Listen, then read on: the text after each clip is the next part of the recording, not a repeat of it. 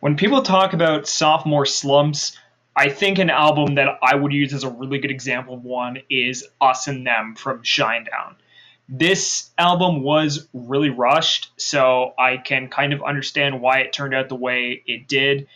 And even Shinedown kind of doesn't really go back to this one much um, in their concert set list. It's very rare to hear anything from here live. So let's get the good out of the way first. Save Me incredible.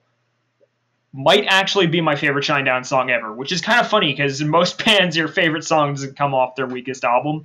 I love it. It's uh, I really like the bass line for it. Vocals are incredible.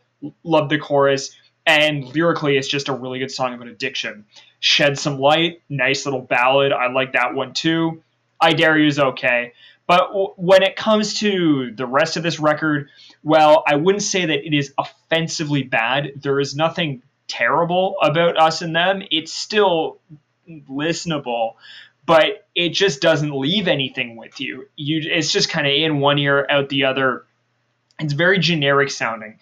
And when you have an album of like, I don't know exactly how many songs in there, but let's just say you have an album of around 12 songs and only three of those really leave an impact, it's just not going to stick with you very much. So as a result, I'm not a huge fan of Us and Them. I don't think it's terrible, but I wouldn't really recommend listening to it. Besides Save Me, I think if you want to get into Shinedown, that's an essential song.